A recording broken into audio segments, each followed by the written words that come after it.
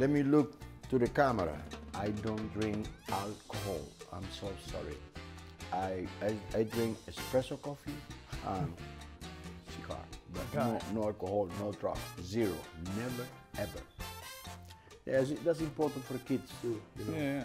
Yeah, because uh, especially in the jazz music, a lot of people believe that. And A lot of people give the complete wrong information. They say that you play better if you're high or whatever. Like Come on, yeah, yeah. come on, Yeah. man. that's so stupid.